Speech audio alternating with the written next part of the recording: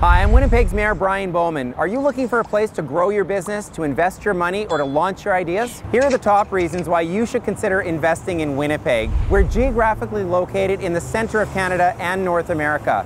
Low business costs. We've got the lowest business costs in Western Canada and lower than every U.S. city surveyed by KPMG's Competitive Alternatives Study. Our workforce, we've got the best in-class provincial nominee program that attracts immigrant workers to Winnipeg. We've got amongst the highest employee retention rates in Canada. We've got clean, reliable, and low-cost energy. 99% of Manitoba's electricity comes from water power, and that means that your carbon footprint for your business is very low. We have a diversified and stable economy. We've got 10 key economic sectors that are active here. Manitoba's GDP growth is expected to be amongst the top three in Canada this year.